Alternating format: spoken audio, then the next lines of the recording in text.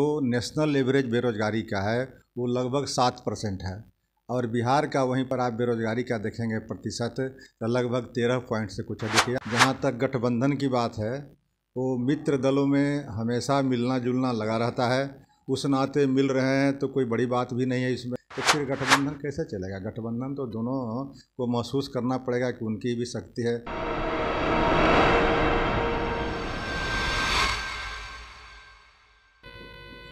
बिहार में स्थानीय निकाय के चुनाव को लेकर एक बार सरगर्मियाँ फिर से तेज हो गई हैं। क्योंकि देखिए, राजद के द्वारा महागठबंधन का प्रेस कॉन्फ्रेंस बुलाया गया है, लेकिन राजद जो कह रही है कि तमाम जो पार्टी हैं वो आएगी, लेकिन कांग्रेस कह रही है कि हमें ना बुलाया गया है, ना तो प्रदेश अध्यक्ष इसकी औपचारिक पुष्टि कर रहे हैं, ना तो उनके एमएलसी।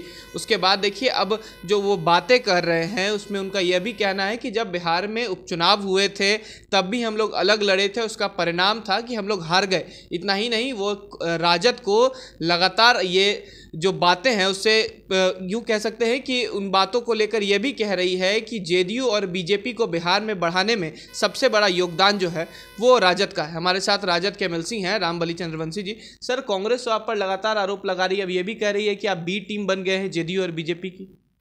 देखिए सब बातों में कहीं कोई सच्चाई नहीं है।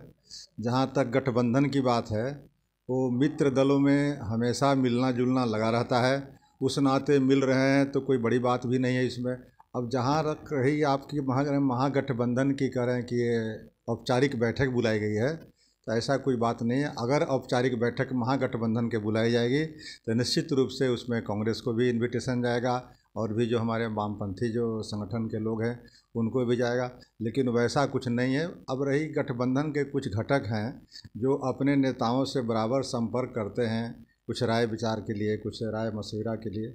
उसी क्रम में अगर जगता बाबू कुछ लोगों से बुलाए होंगे या कुछ लोग जगता बाबू से मिलने की इच्छा व्यक्त किए होंगे तो उस तरह की कोई बात है अप्रत्याशित नहीं है। इस पर बहुत ज़्यादा टिका टिप्पणी की गुंजाइश नहीं बनती। लेकिन आप लोग कह रहे हैं कि आपकी वजह से हारे थे उपचुनाव आप ही सबसे बड़े कारण है।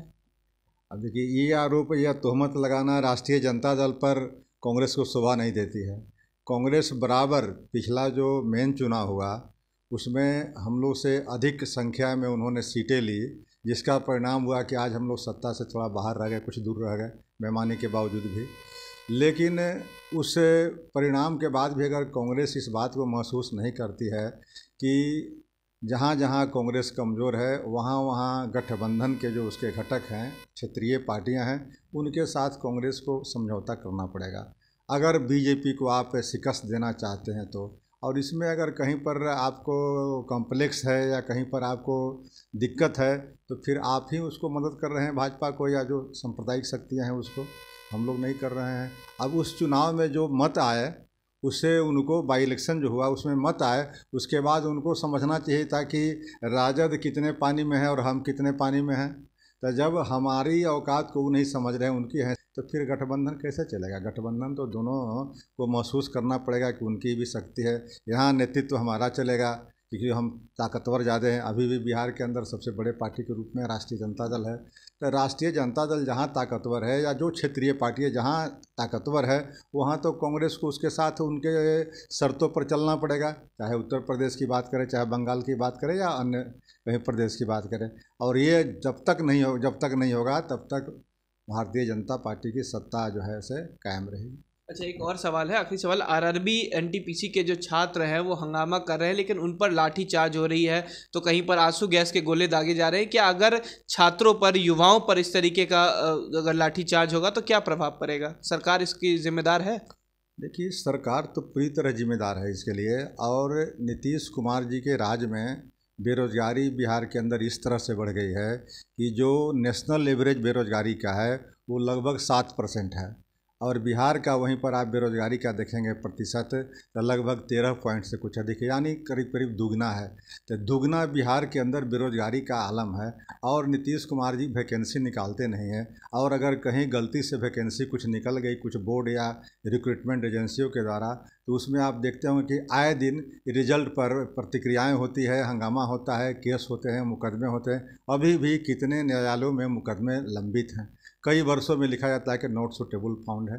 तो इस तरह के बेरोजगारों के प्रति, नौजवानों के प्रति नीतीश सरकार की रवैया शुरू से ही खराब रही है और आज जब इस कदर पहुँच गया है, रिज़ल्ट के लिए लोग मारपीट कर रहे हैं, ट्रेन में आग लगा रहे हैं तो उस पर नीतीश कुमार जी उस पर केस मुकदमा कर रहे हैं मतलब कि और आंदोलन में झोंकने का काम कर रहे हैं। आंदोलन को सबसाइड करने के बजाय, उन लोगों से वार्ता करने के बजाय उन चीज़ों का समाधान करने के बजाय अगर शक्ति का प्रयोग करेंगे तो निश्चित रूप से पूरा बिहार जो है एक बार फिर जल जाएगा और वो नीतीश कुमार के लिए या किसी भी सरकार के लिए घातक हो यानी राजद उनके समर्थन में है छात्रों के समर्थन में है? बिल्कुल समर्थन में। इस तरह का बेरोजगारों के समर्थन में आज से नहीं हमारे नेता आदरणीय तेजस्वी प्रसाद यादव कह चुके हैं पहले भी कि अगर कोरोना का ये प्रोटोकॉल नहीं रहता तो हम बेरोजगारों का सम्मेलन करना चाह रहे थे। बेरोजगारी यात्रा करने की बात कर रहे थे।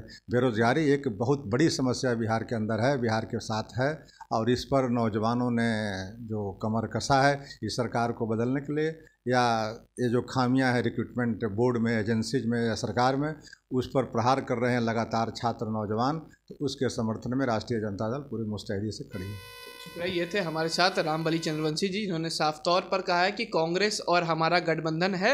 हो सकता है कि प्रदेश अध्यक्ष जगदानंद सिंह ने ऐसी ही मुलाकात के लिए बुलाया हो। इस पर कोई राजनीतिक रूप नहीं देना चाहिए, इतना ही नहीं। उन्होंने कहा है कि जिस तरीके से छात्रों पर लाठीचार्ज हो रही है, मैं उसके विरोध में हूँ और राजद और तमाम जो राजद के नेता हैं, वो छात्रों के साथ खड़े हैं। फ़िलहाल खबर में सिर्फ़ इतना ही। आप हमारे साथ बने रहें और देखते रहें डी भारत। नमस्कार।